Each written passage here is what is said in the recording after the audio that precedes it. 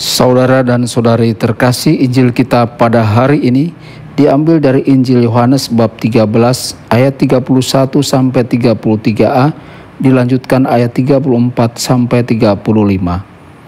Dalam perjamuan malam terakhir, sesudah Yudas meninggalkan ruang perjamuan, berkatalah Yesus kepada para murid yang lain, "Sekarang anak manusia dipermuliakan dan Allah dipermuliakan di dalam Dia." Jikalau Allah dipermuliakan di dalam dia, Allah akan mempermuliakan dia juga di dalam dirinya dan akan mempermuliakan dia dengan segera. Hai anak-anakku, tinggal sesaat lagi aku ada bersama kamu. Aku memberikan perintah baru kepadamu, yaitu supaya kamu saling mengasihi, sama seperti aku telah mengasihi kamu, demikian pula kamu harus saling mengasihi. Dengan demikian semua orang akan tahu bahwa kamu adalah murid-muridku yaitu jikalau kamu saling mengasihi. Demikianlah sabda Tuhan, terpujilah Kristus.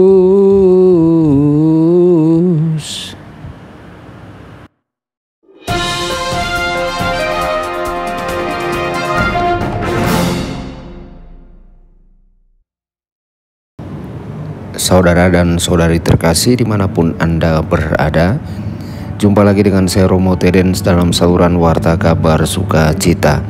Semoga Anda semua di mana pun berada senantiasa dalam keadaan sehat dan bahagia. Saudara-saudari, kita tidak cukup hanya mengucapkan kata-kata saja. Kata-kata kita mesti diteruskan dengan tindakan.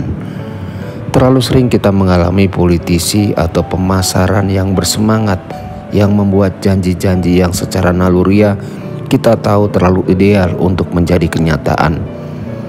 Kita ingin mempercayai kebaikan yang mereka janjikan, tetapi pengalaman telah mengajari kita untuk bersikap skeptis.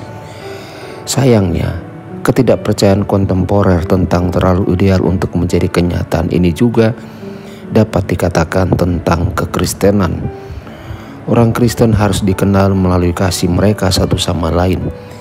Dalam lingkaran sosial kita, Apakah kita dikenal karena kasih kita seperti Kristus? Secara khusus, apakah kita mampu menerima orang lain apa adanya, melihat cara mereka berada dalam sudut pandang yang baik?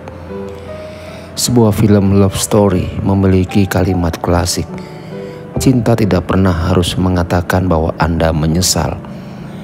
Namun, sebagai orang Kristen, kita sadar akan sifat lemah kita dan kecenderungan kita untuk berbuat dosa kita perlu meminta maaf.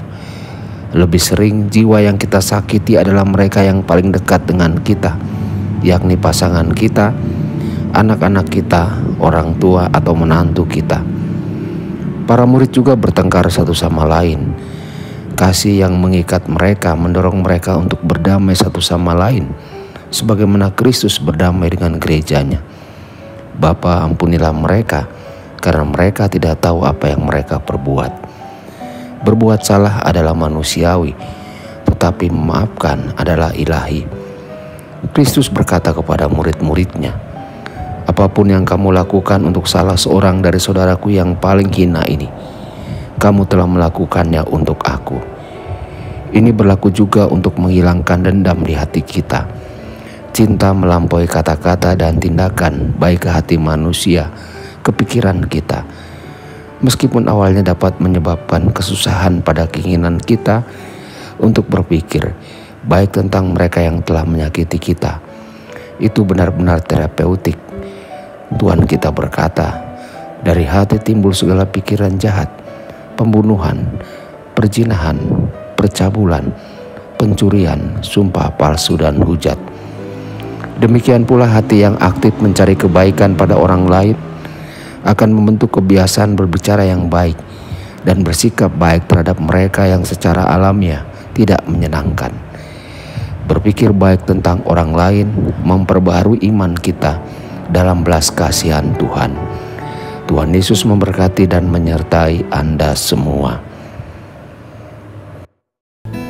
Sabda Allah adalah kebenaran. Sabda Allah adalah kehidupan. Mari kita mencintainya. Mari kita menghayatinya. Ya Tuhan.